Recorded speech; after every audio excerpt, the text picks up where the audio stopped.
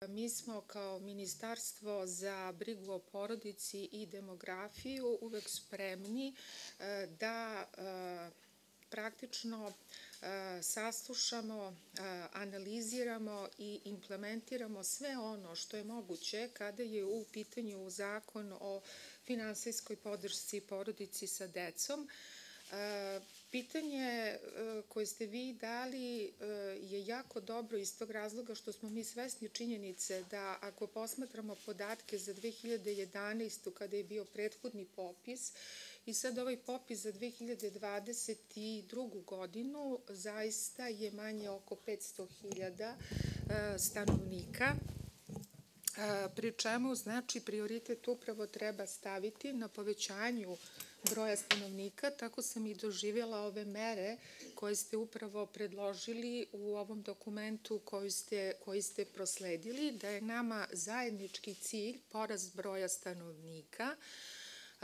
da vlada država Republike Srbije upravo kontinuirano radi na stalnom unapređenju postojećih i donošenju znači e, novih e, izmena i dopuna e, zakona o finansijskoj podršci porodici sa decom, međutim to nije sve.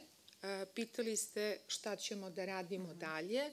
Znači, radi se na izradi nove strategije za podsticanje rađanja. To je nova strategija koja je, odnosno strategija postoji iz 2018. godine, međutim nama je sada cilj na osnovu ex ante i ex post analize da praktično izradimo novu strategiju gde će ta strategija biti sa odgovarajućim akcionim planom i upravo treba da odgovori na sve ove probleme koje smo sagledali kroz popis za 2022. godinu.